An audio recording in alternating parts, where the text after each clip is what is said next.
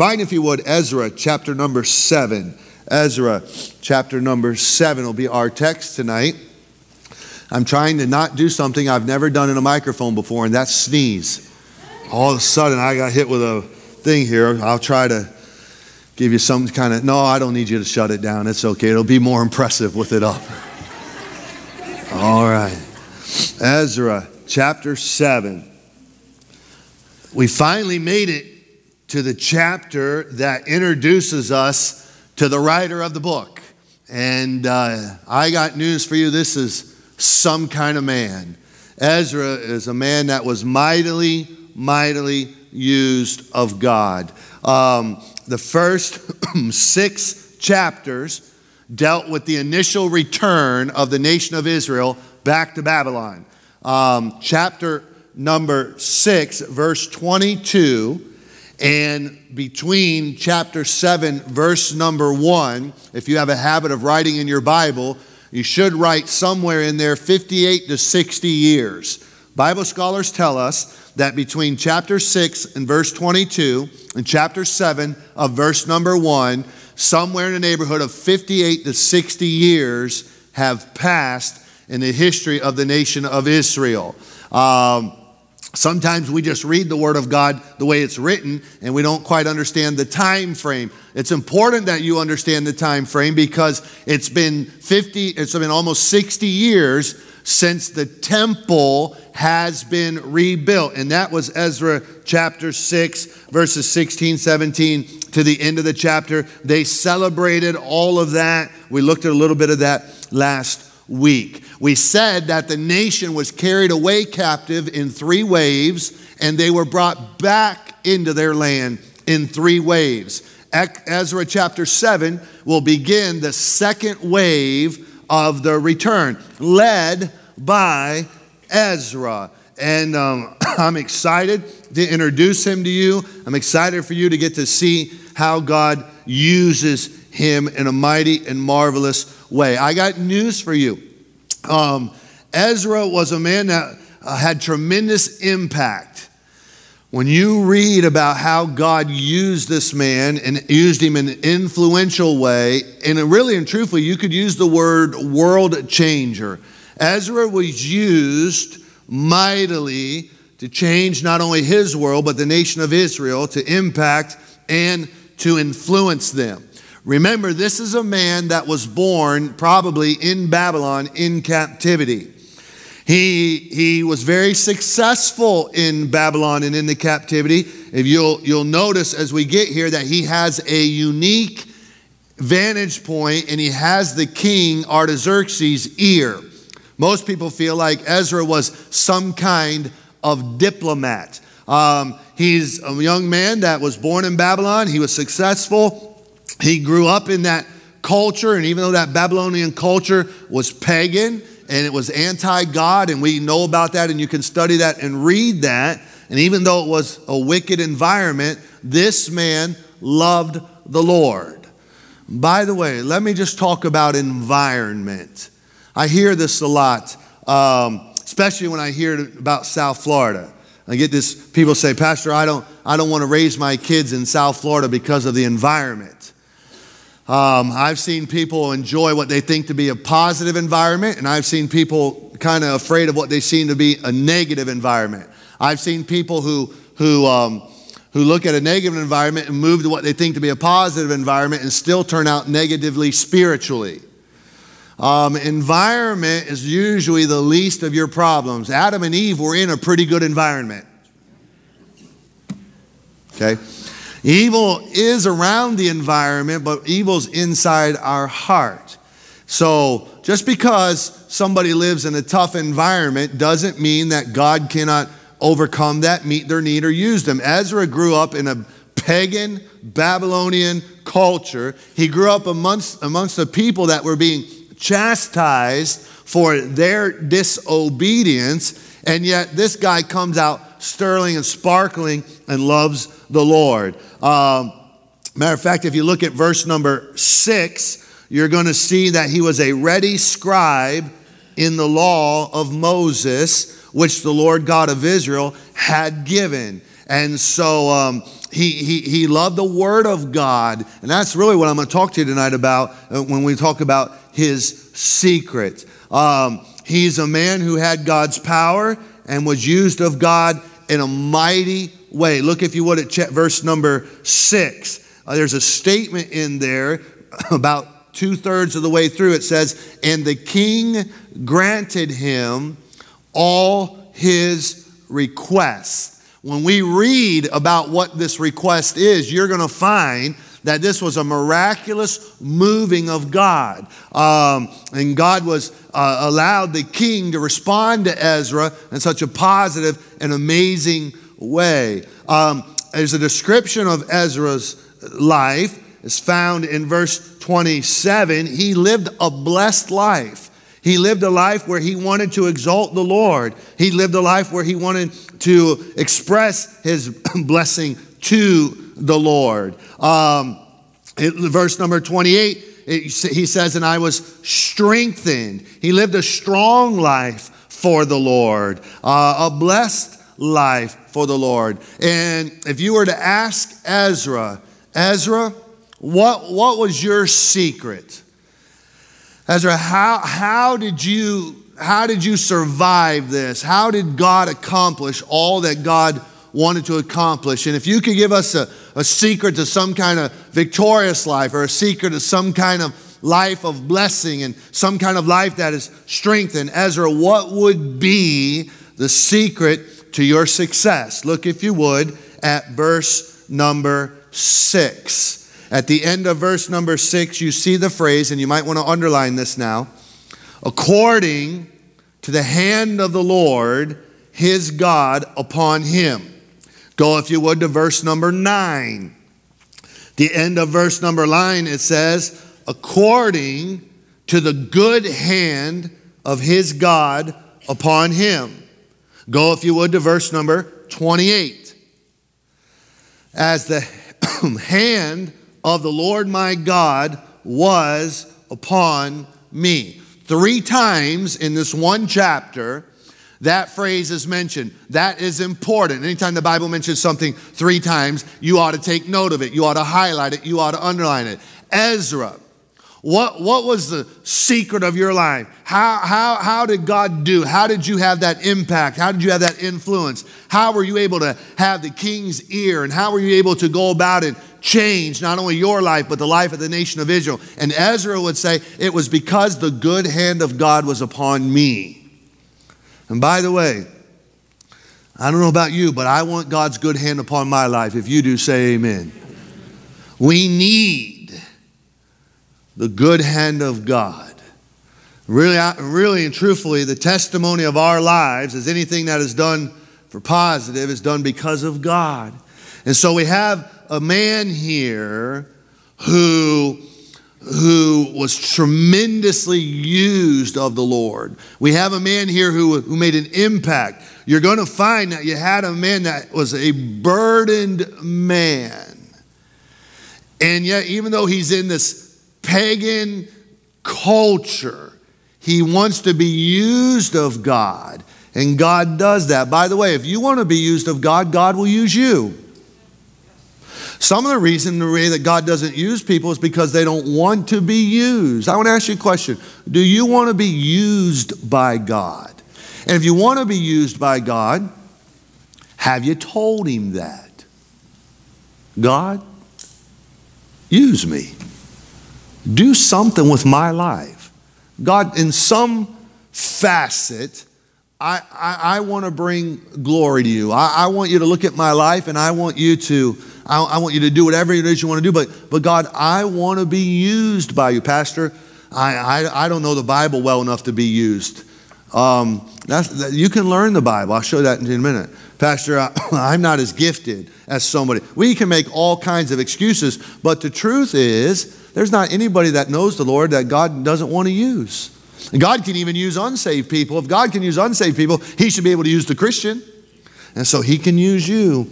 Ezra was such a man, and he wanted to have such a, a burden, and he had such a burden in his life to be used of God. Um, and man, when you read about how God uses Ezra, it's fascinating. Now, um, last week we, we visited that passage of scripture where letters were written. And as we've been studying the book of Ezra, we know that Cyrus wrote a letter. There was a letter written to Darius to try to stop the work. Darius writes a letter back to continue the work. And in Ezra chapter 7, verse number 11, all the way to verse number 26, is once again God moving in a mighty and marvelous way. And we learn about this through a letter that is written. Um, and when Ezra was leaving to, to go to the land of Jerusalem, Artaxerxes gives him a letter to take with him. And it's a letter that was some 60 years after the building of the temple, but it's a letter that expresses how God uses Ezra and how God can um, work in the affairs of men. And I just think it's a blessing to read. So let's begin with verse number 11. And I want you to understand this letter. I want you to understand the miracle working power of God and how he takes this man and works in and through him. Now, this, verse 11, is the copy of the letter that King Artaxerxes gave unto Ezra the priest, the scribe, even a scribe of the words of the commandments of the Lord and of his statutes to Israel. Artaxerxes, king of kings. There's only one king of kings, but Artaxerxes thought he was. Unto Ezra the priest, a scribe of the law of the God of heaven, perfect peace, and at such a time. Artaxerxes says, I make a decree that all they of the people of Israel and of his priests and Levites in my realm, which are minded of their own free will to go up to Jerusalem, go with thee. For as much as thou art sent of the king and of his seven counselors to inquire concerning Judah and Jerusalem, according to the law of thy God, which is in thine hand, and to carry the silver and gold which the king and his counselors have freely offered unto the God of Israel, whose habitation is in Jerusalem.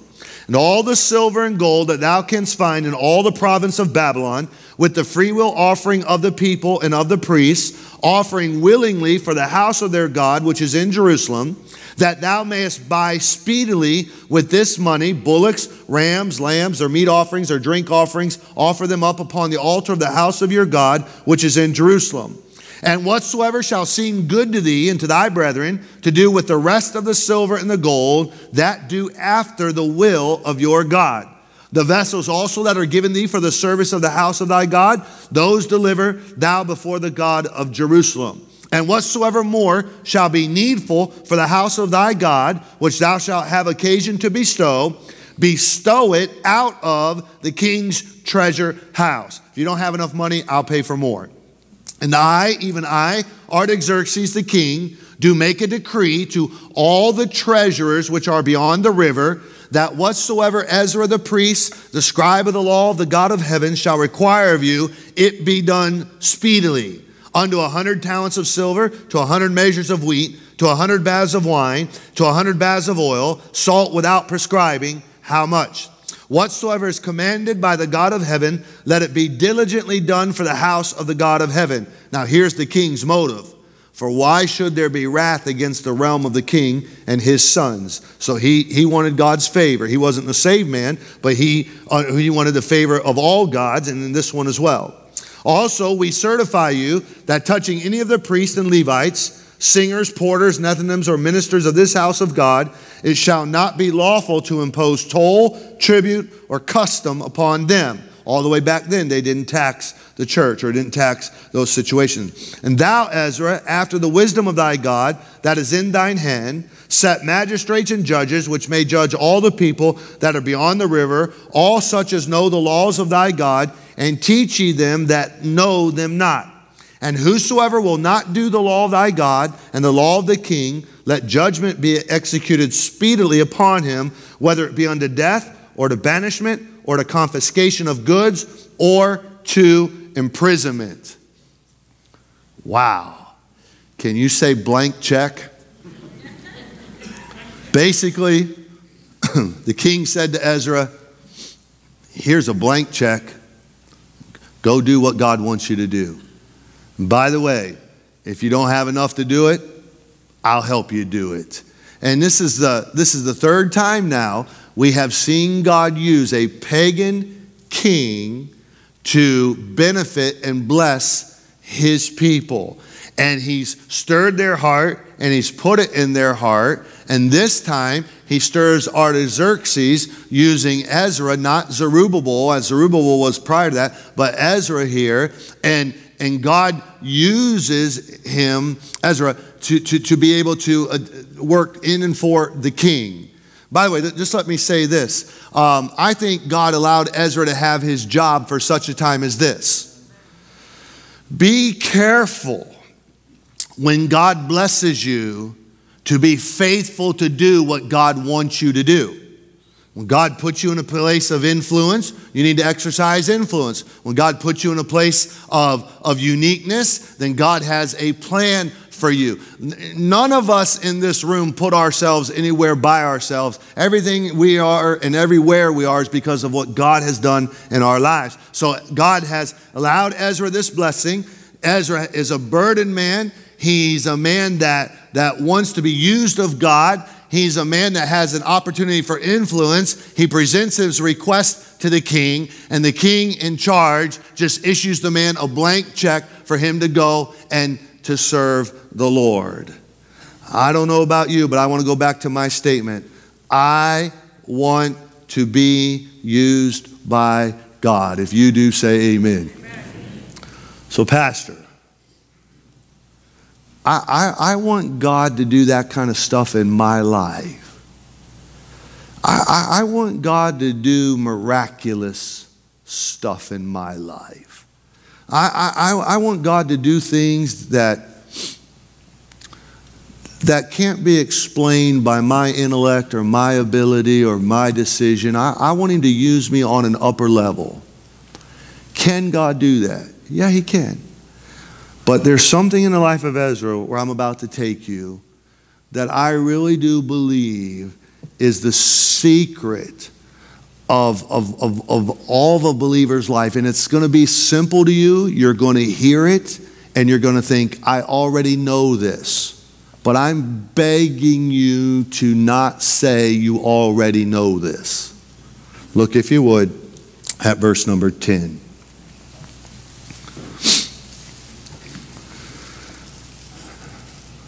For Ezra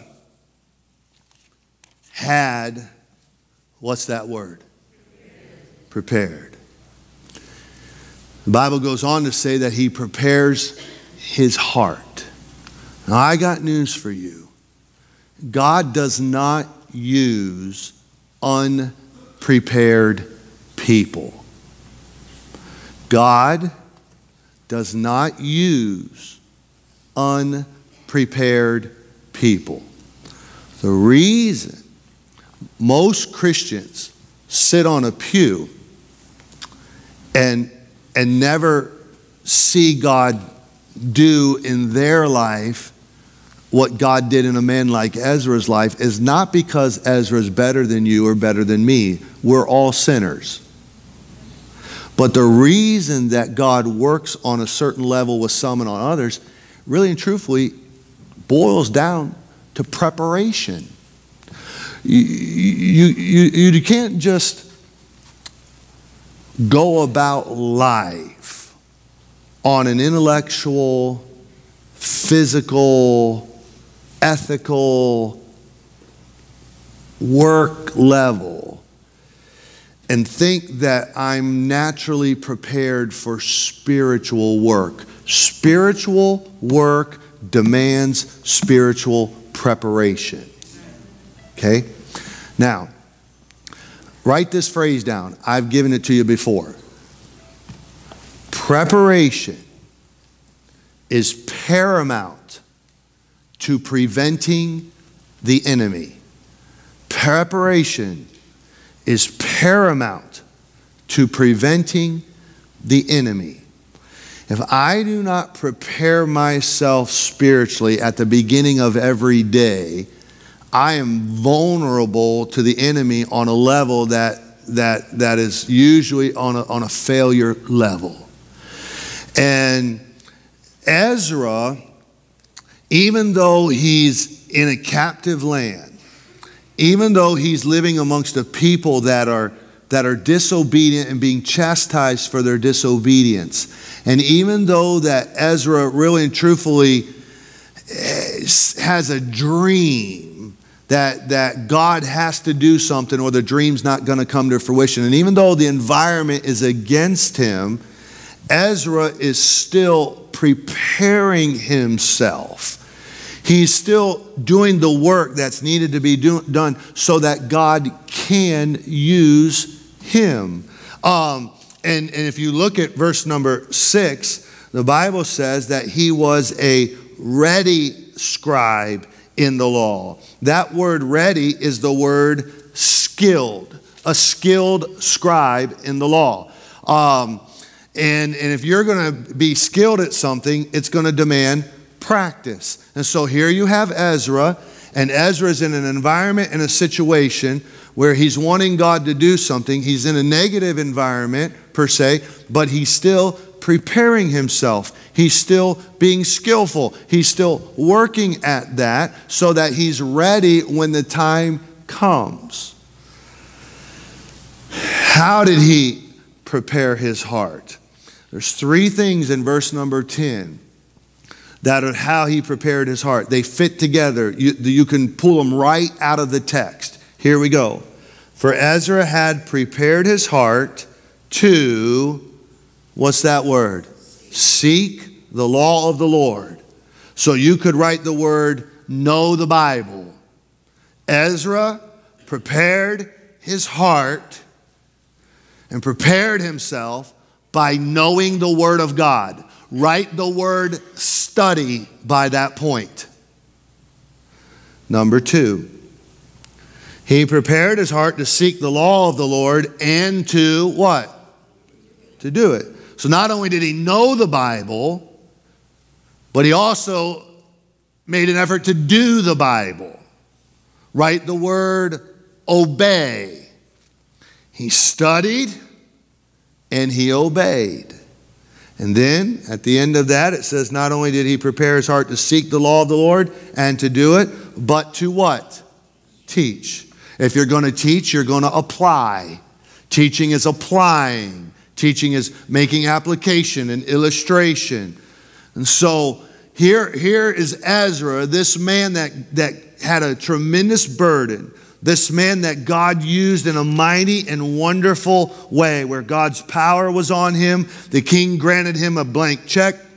This man who was uh, strong in the Lord, who reckoned the good hand of God upon his life, and really and truthfully, before that manifested itself, Ezra had prepared himself, and he prepared himself around the Word of God.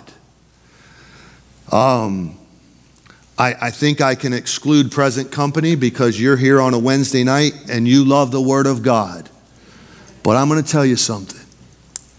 The reason that our Christian church people are getting destroyed is because we are wordless. We're wordless as a church. Um, we can work, churches can worship and they can wow and they can work and they can wahoo and they have wealth, but most churches are so wordless that God's people don't, don't know what to do. That's why the Apostle Paul in the book of Acts, he, he said those people at Berean, they were more noble because they, they opened up the scriptures and they searched things out. I'm going to tell you something. You cannot afford to be a wordless Christian. So, how much time are you spending in God's Word?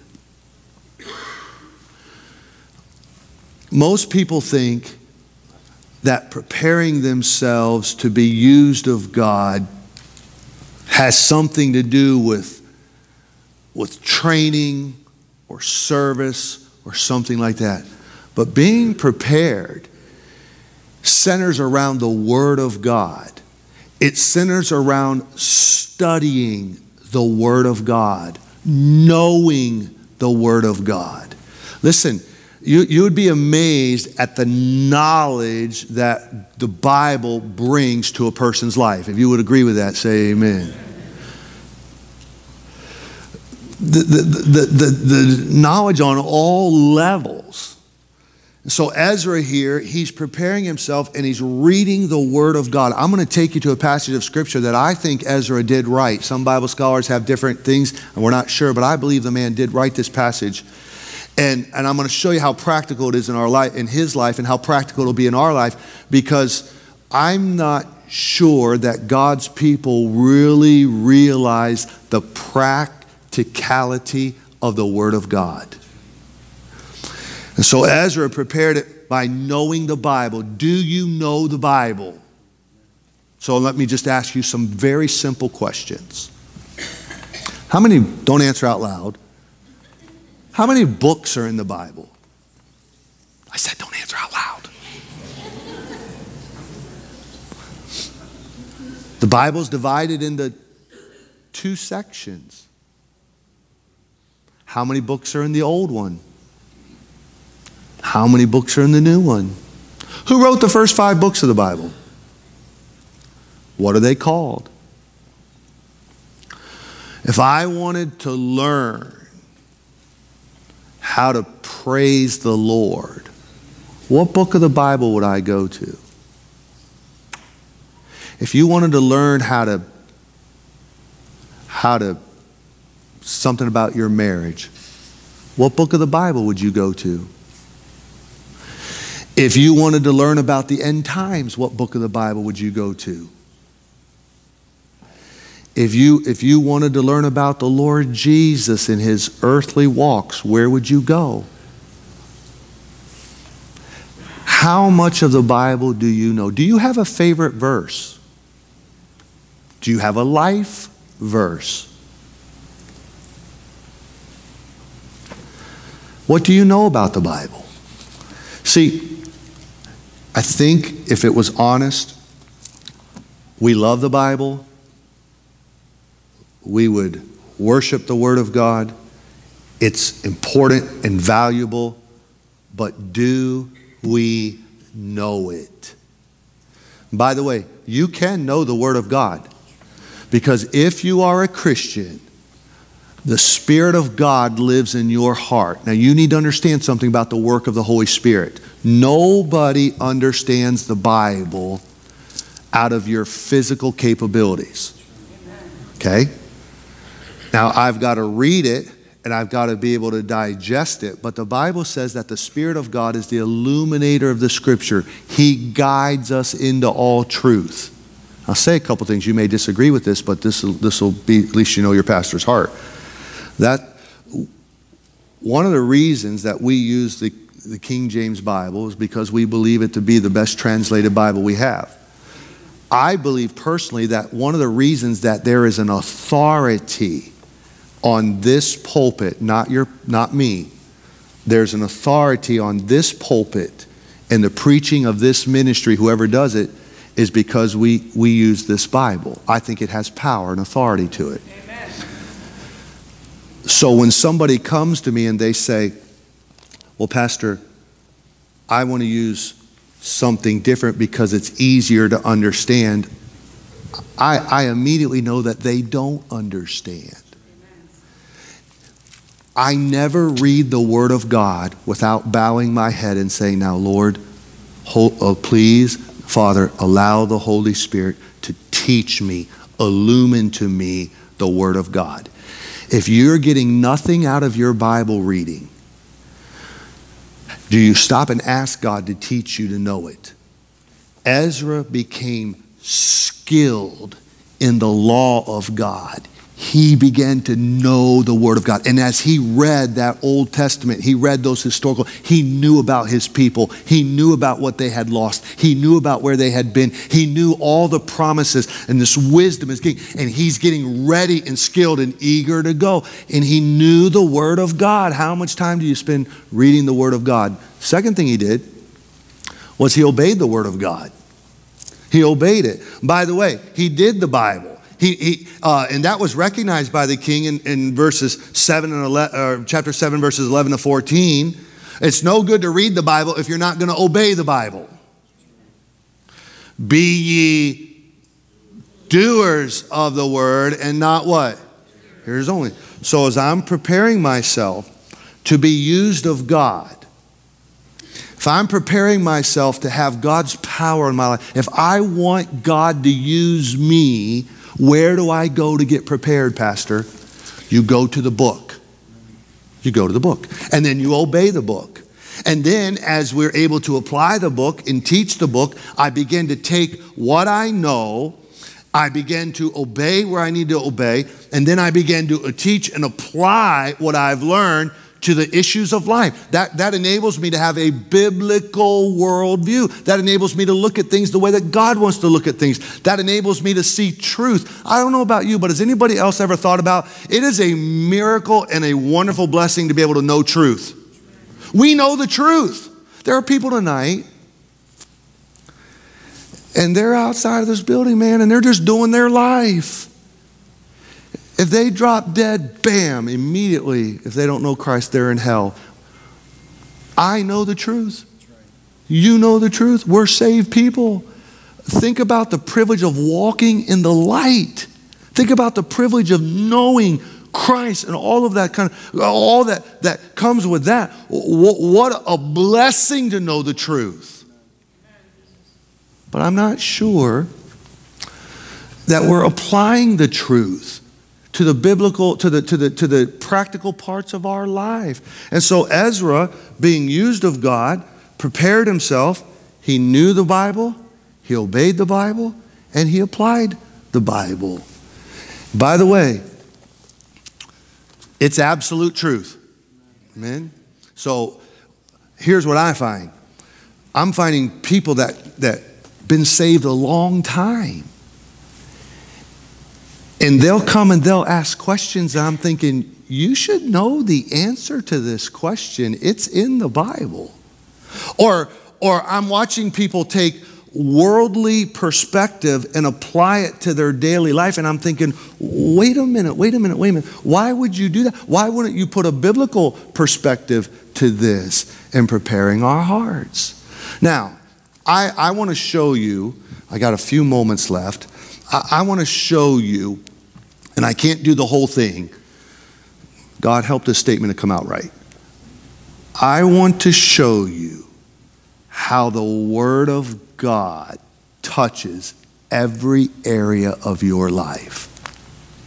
Go to Psalm 119.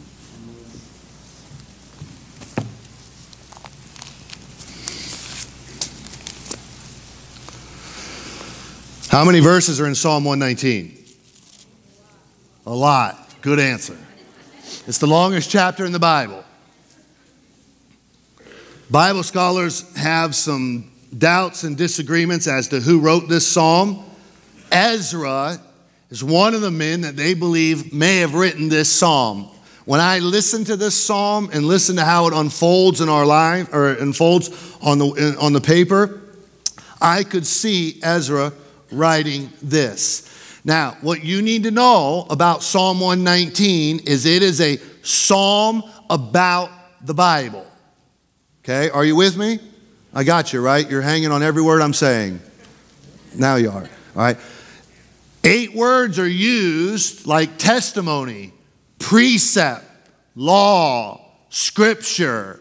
Eight different words are used throughout Psalm 119 to refer to the Bible. As you read and study this passage, this, this chapter this week, you are going to be amazed at the moments of your life that are tied to the Word of God. You're going to be amazed at the, at the subjects that all find their, their answer and their power and, their, and, and, and our responsibility to the Word of God. And, and, and what I want to do tonight is I, I just want to tell you that this scripture is alive in the living Word of God. Look, if you would, at verse number one. I'm just going to take a few moments here and read through some of these. Blessed are the undefiled in the way who walk in the law of the Lord. So if you want a blessed life, say amen. So, according to verse number one, if you want a blessed life, where are you going to walk? In the law of the Lord. That means that as I walk my life in the scriptures, blessing awaits me.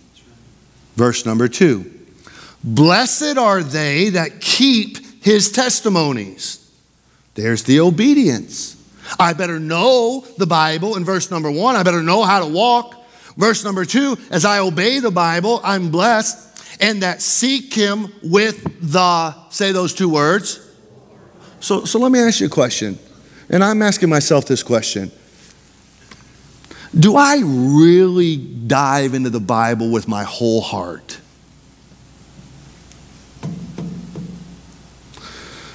with my whole heart. Um, have you ever given your whole heart to anything? Not someone, to anything. Are you an avid, ha- do you have a hobby that you're avid at? Are you a book reader?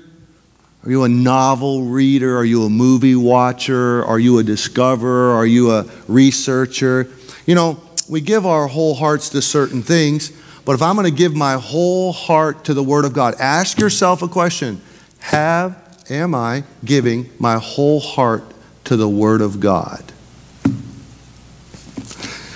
Verse number three.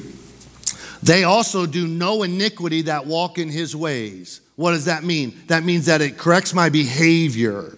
It enables me to obey the Lord, it enables me to be blessed of God. Verse 4 Thou hast commanded us to keep thy precepts diligently. Here's the cry of his heart Oh, that my ways were directed to keep thy statutes. So I, I want to be obedient. Then shall I not be ashamed when I have respect unto all thy commandments. I will praise thee with uprightness of heart when, shall, when I shall have learned thy righteous judgments. I will keep thy statutes, forsake me not utterly. Here's a wonderful beginning in this uh, psalm to the foundation of the Word of God. I have all kinds of verses that are underlined in Psalm 119 in my Bible. I don't know if you do or not. But I'm just going to kind of cherry pick a little bit here, and I'm going to send you out of here with some homework. I want you to live in Psalm 119 till next Wednesday night. I want you to read it every day. Pastor,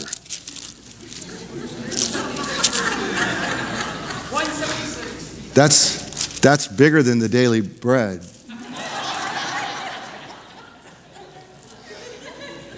Every day. If you've ever done a counseling session with me, you know I have a little thing that I do. I want you to read that Bible with a piece of paper and with a pen. And I want you to read, and as you read the Word of God, the subjects the, that you're dealing with, the moments that you find yourself in, your fear, your relationships. I promise you that there is an immense amount of your life in Psalm 119 tied to the Word of God. And I want you to take your paper, and so you would take Psalm 119, verse number one, and you would say, If I want a blessed life, I should walk in the law of the Lord. You'll go on through. Look at verse number nine. Wherewithal shall a young man cleanse his way?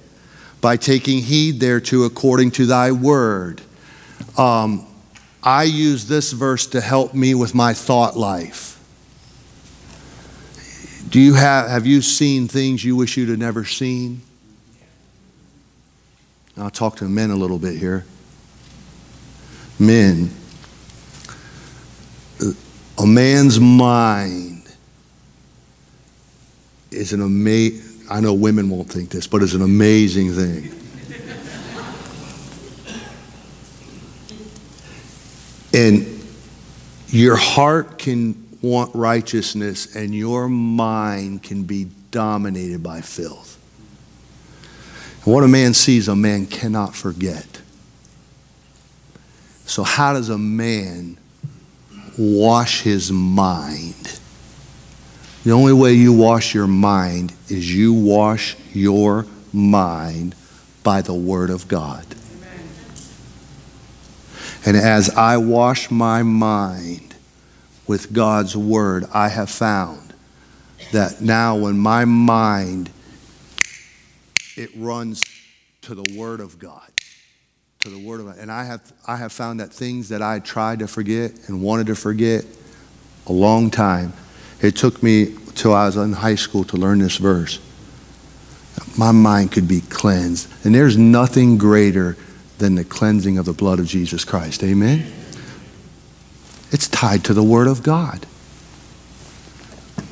Verse number 11 Thy Word have I hid in mine heart that I might not sin against thee. Do you have a habitual sin, women? I already got the men, let me get the women. Do you have a habitual sin? Uh, it's called a besetting sin in the book of uh, Hebrews. It's called a weight in our life. Pastor, I have a habit that I cannot break. Sure, you can. You can break it with the Word of God. Thy Word have I hid in mine heart that I might not sin against thee. I got some other ones underlined. Look at verse 23. Princes also did sit and speak against me. You have somebody saying some evil things about you. If you're in the ministry or you're in work with people, you're going to need this verse. Princes did sit and speak against me. But thy servant did rip off their head and spit down their neck. No. But thy servant did meditate in thy what? Statutes, which is a word for the word of God. So are you sitting there staying up night because you think so and so said this about you at work and this is going on about you and you know that these people over here and they're talking about you and they're scheming and they're planning about you? And so how do you survive that? You meditate on the word of God. Pastor, it doesn't work. You don't work. I don't work this works. Let's keep going. We got a couple more minutes. It gets better. Um, um, oh, look at verse 71. I don't like this one, but I underlined it.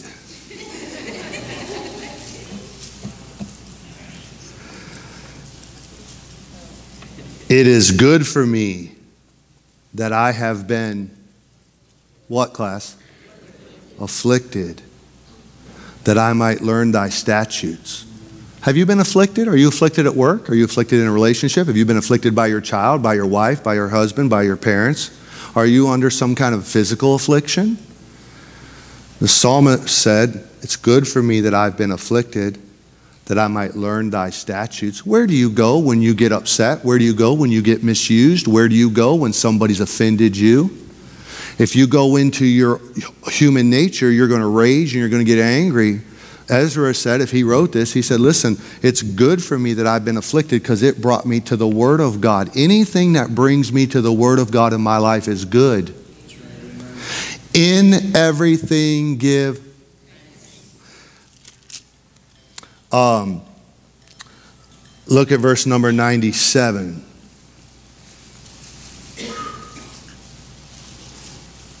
Oh, how I love thy law. It is my meditation all the day. You know, we think about a lot of things during the day, but the Word of God ought to be the meditation of our day. I'll finish with verse 165 and I'm done. One of my favorite verses in the Bible. Great peace have they which love thy law, and nothing shall say it offend them. Do we live in, in an offendable world? Oh, yeah. Oh, yeah. We live in an, I got an email, kind and gracious email. I offended some people, and I didn't even mean to offend some people. I, I can understand. I did it. I offended them. I was wrong. I didn't mean to do it. Sometimes people offend me, sometimes people offend you, but the Bible says, Great peace have they which love thy law, and nothing shall offend them. So, so let me just help us with this. If you're easily offended, it's evidence you're wordless.